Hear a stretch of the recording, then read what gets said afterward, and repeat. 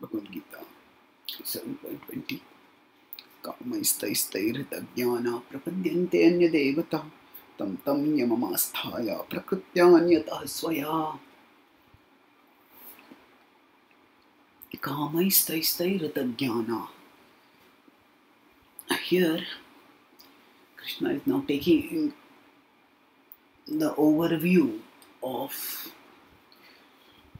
all of existence that is there in this chapter further.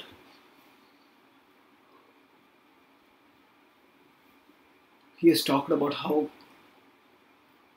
the various elements that comprise this material nature, how the modes and everything that is manifested in the modes ultimately rests in him, and how those who surrender can go beyond the illusion of the mode. That's what he said in 7.14. Then in 7.15, he talked about those who don't surrender to him. From 7.16 to 19, he talked about those who surrender to him. And thereafter, from 7.20 onwards, he talks about those who are in between these two categories. So, those who don't surrender and those who surrender are two extremes in between the two are those who surrender but to something else.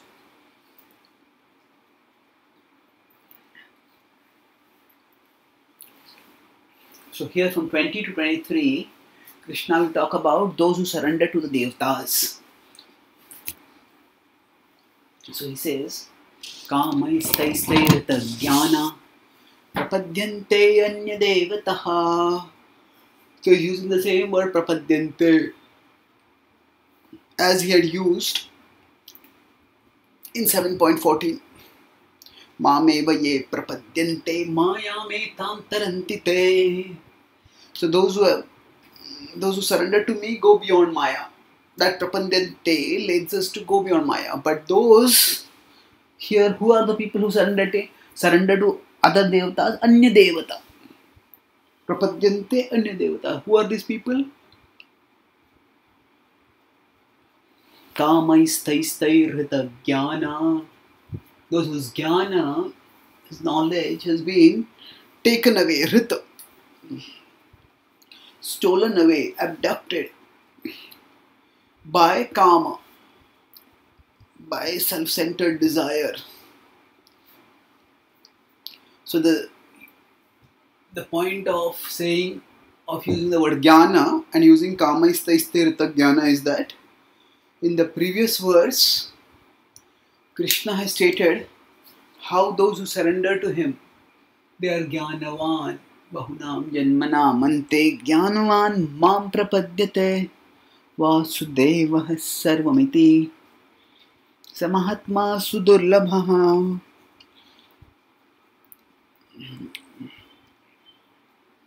so he talks there about that means those who are fixed in devotion to him those who understand him to be everything they are jnanavan. Vasudeva sarvamiti. But in contrast those who surrender those who so if they if people are jnanavan they will surrender to him. But if they're jnana so the vana uh, is often used as a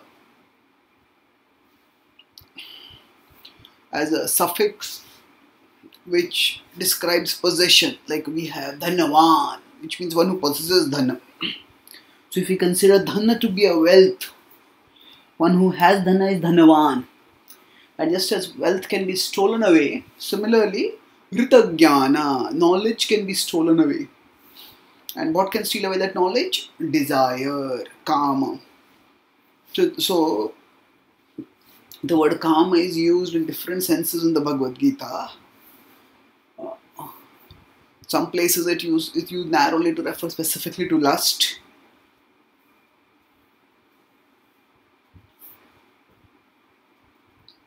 as contrasted from because contrasted with say other anarthas like greed and anger so when krishna says that lust anger and greed are the three gates to hell, as you will say in 16.21.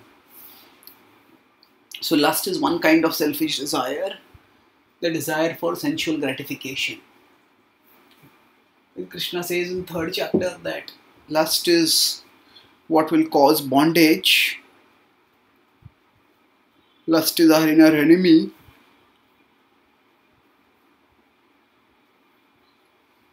That also uses it more or less in a you know a more inclusive describer of selfish desire, beginning with the desire for physical gratification.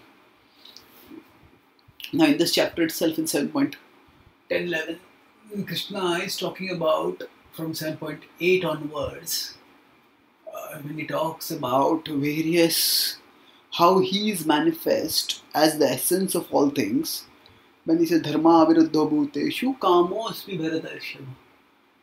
There he refers to calm not just as a, this self-destructive force, but as a natural human need.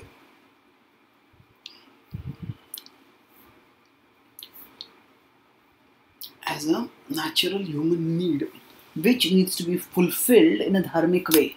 In fact, it's not just a need, it's a purpose of life. Dharma, Artha, Kama, Moksha, are the four Purusharthas. Among them, Kam is also an important Purushartha. So, there, Kama refers not just to sex desire, it refers to overall material prosperity.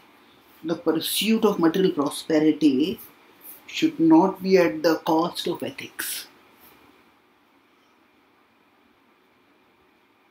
धर्म अविरुद्ध भूतेषु कामो अस्मि भरदर्शव that's what he told earlier now Krishna is saying कामैस्तैस्तै रत ज्ञान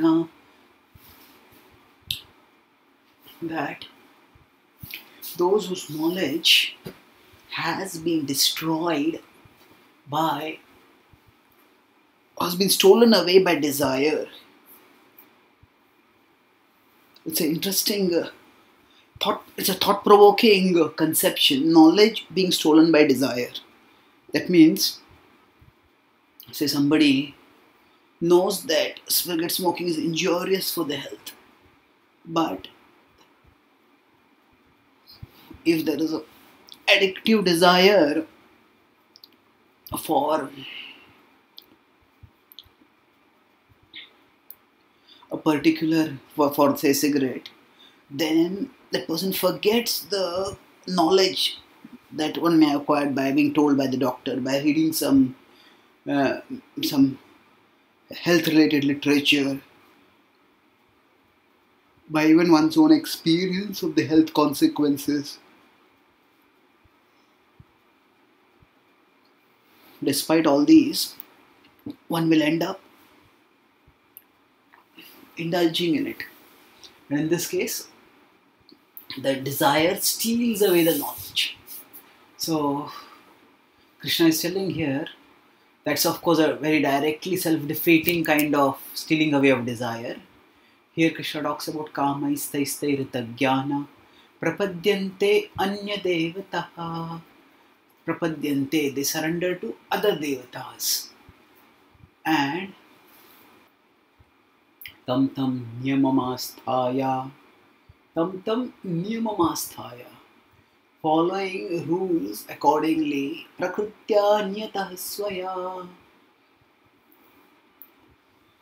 so it's not that these people so there is say if somebody starts quit smoking or somebody gets into some irreligious activity because of the influence of karma in that case the person is actually up all dharma entirely. But in this case, Krishna is saying that they don't give up dharma, but they follow the rules prakrityanyatah swaya. Rules according to their nature. So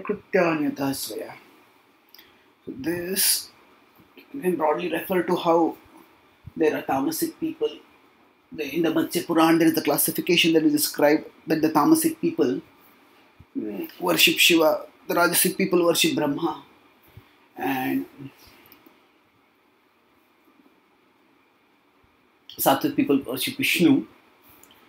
Basically, Krishna uh, tells over here that those who have knowledge they worship him, but those who don't have knowledge, then depending on the way that desire has depleted their knowledge, they will accordingly, being driven by their nature, they will worship some other devata. So this whole system of the devata upasana, we will understand gradually in the next three talks. Thank you.